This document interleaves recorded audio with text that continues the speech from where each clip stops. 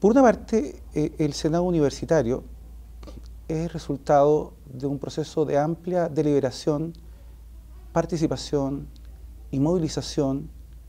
que se dio en la Universidad de Chile. El Senado, en términos simbólicos, creo que representa eh, los ideales de deliberación, de participación que están en la base de nuestro eh, proyecto universitario. Eh, esto se refleja, por un lado, en la composición triestamental del Senado, es decir, en el hecho de que en el Senado están representados los distintos, los distintos estamentos que constituyen nuestra comunidad. Y junto con ello también en el papel normativo que el Senado desempeña. El Senado constituye, me parece, el espacio privilegiado donde se discute, donde se delibera sobre el sentido de la universidad,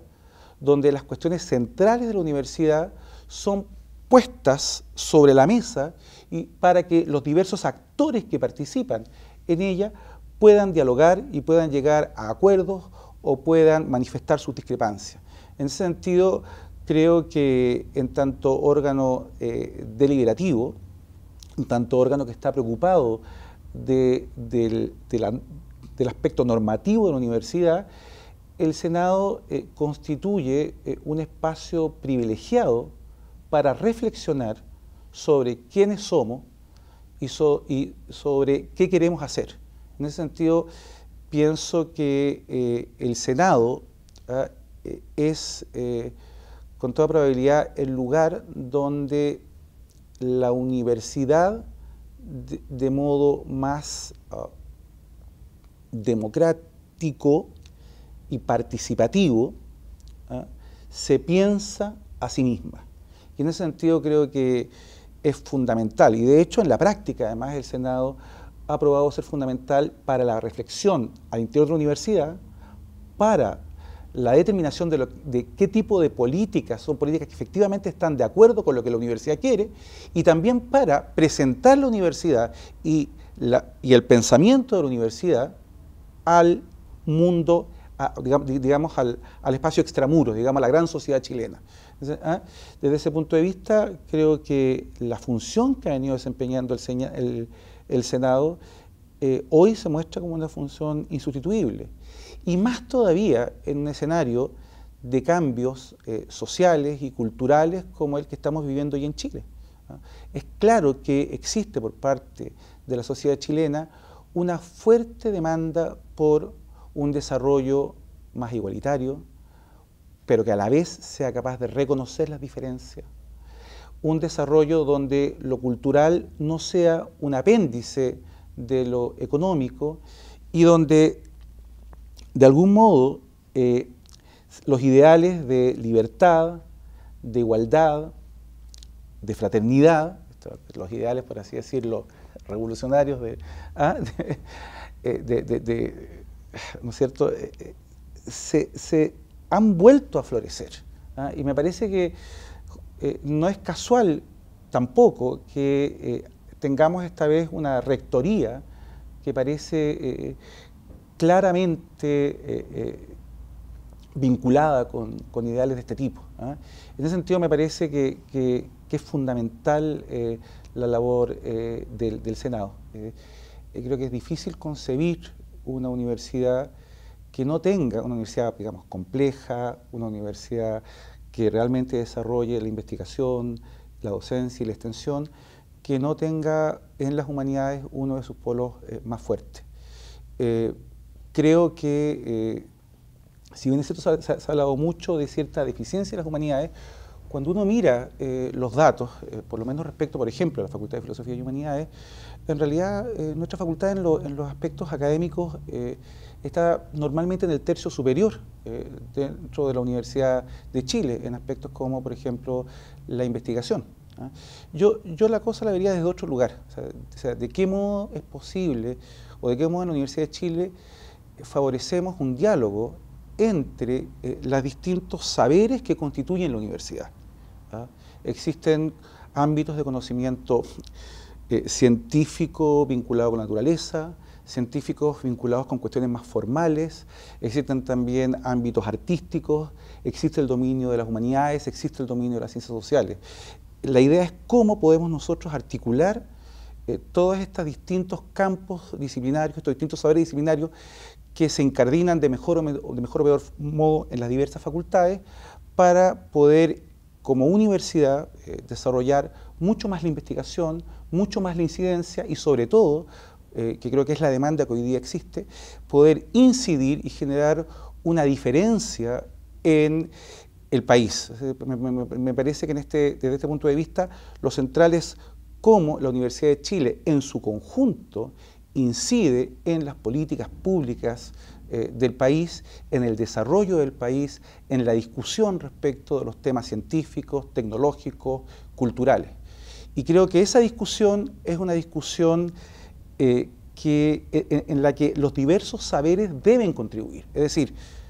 las ciencias no están ajenas de las problemáticas de las humanidades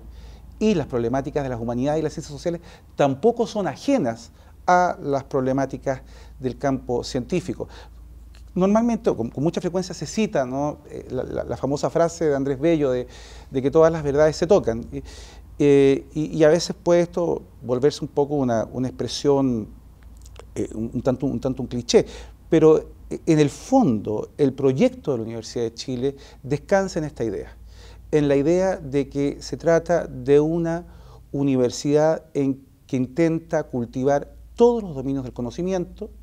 pero no solo por el cultivo en sí mismo, sino para prestar un servicio a la nación, un servicio al Estado de Chile, un servicio finalmente a la sociedad. Y, lo que nosotros, y, en cierto sentido, si uno lo piensa desde ese ámbito, a, mí me parece que eh, la situación que hemos vivido en los últimos 40, 40 años en Chile, los últimos 30, 40 años en Chile, en que de algún modo el Estado se ha, desentendido de la Universidad de Chile y por extensión de las universidades del Estado, de sus propias universidades, esa situación ha significado un daño no solo para las universidades, sino también para el país, porque son estas universidades las que tienen como misión pensar el país, pensar sus problemas y contribuir al diseño de las políticas nacionales y a su ejecución para resolver dichos problemas. Entonces, eh, tengo la impresión, por lo menos esta es mi idea, que me interesa participar en el Senado para contribuir al fortalecimiento del diálogo y de la colaboración entre las distintas disciplinas para contribuir al desarrollo de una universidad donde efectivamente todas las verdades dialogan entre sí y para, a partir de esto, poder eh, propender o poder favorecer eh, la inserción de la universidad en el ámbito público, para que la universidad eh, pueda contribuir a dar respuestas a los problemas nacionales y para que el Estado también entienda que es importante que su universidad y que, en general el conjunto de universidades del Estado debe desempeñar un papel fundamental en la formación, pero también en la investigación y en la discusión de los problemas que en diversos ámbitos aquejan a nuestro país. Cuando uno mira para atrás, lo que ve, y es algo que, yo creo que estamos todos de acuerdo, lo que, uno lo que uno ve es que a la Universidad de Chile, durante el periodo dictatorial, se le arrebató el pedagógico y con ello se le arrebató la función de formación de docente. Los efectos que esto ha tenido en el país yo creo que ya son de sobra conocidos. Lo que ha habido ha sido en general un descenso muy fuerte en la calidad formativa de los docentes y eso ha tenido, por consecuencia natural, un efecto muy negativo en la enseñanza, en las escuelas, en los liceos. Eh, me parece que existe también en la universidad un consenso en que es fundamental que nuestra universidad vuelva a ser el pilar sobre el cual se construye la educación chilena. El problema que ha habido en general más bien ha, tenido que ver con cómo ocurre eso y ha habido discusiones de distinta índole, pero mi, impresión es que desde hace ya bastante tiempo la universidad ha eh, desarrollado iniciativas para poder responder a la demanda que la sociedad chilena le hace por una por, por, que la sociedad chilena le hace por la formación de profesores. Y creo que, eh, para mí por lo menos, uno de los ejemplos más claros de este interés que ha tenido la universidad eh, dice relación con una carrera. Yo quisiera centrarme en un, en un, caso muy particular, que es el de la carrera de pedagogía en matemática y física, que actualmente eh, desarrollan la Facultad de Ciencias en conjunto con la Facultad de Filosofía y Humanidades. Se trata de una carrera en la que ingresan estudiantes que tienen ah, sobre 700 puntos. Es, hasta donde entiendo, ah, la carrera de pedagogía con los más altos puntajes de ingreso en el país. Los estudiantes que entran en esta carrera normalmente pertenecen a quintiles bajos desde el punto de vista del ingreso. Son, por tanto, no solo muy buenos estudiantes por sus resultados en la PSU, sino que sabiendo que la PSU es de suyo discriminatoria, son estudiantes que, cuyo potencial es mucho mayor incluso que el que predice su puntaje en la PSU. Lo interesante es que estos buenos estudiantes que entran a nuestra universidad optan por una carrera de pedagogía. He hablado con profesores de esta, de esta carrera y me dicen que los estudiantes que salen de esta carrera tienen como horizonte volver a la educación pública, que es de donde vienen. Entonces, lo que uno puede ver en este proceso es es la confluencia de dos facultades que tienen un peso disciplinario en distintos ámbitos, en un caso en el campo científico, en el otro caso en el campo de las humanidades y la educación, y cómo de esa confluencia surge un programa particular que es capaz de atraer a estudiantes de excelencia que provienen en su gran mayoría, según se me ha informado, según se me ha dicho, de, de quintiles más bien bajos. Estos estudiantes de excelencia siguen su vocación docente y tienen como meta volver al sistema público para desarrollar clases de alta calidad. Yo creo que, eh, yo creo para, mí este programa de algún modo sintetiza eh, lo que yo entiendo como el compromiso formativo de la Universidad de Chile en la educación. ¿ah? Estoy muy de acuerdo y me parece que, eh, y me parece que el, compromiso de la universidad también debe manifestarse en la investigación de avanzada en distintos dominios. Eh, yo mismo colaboro con,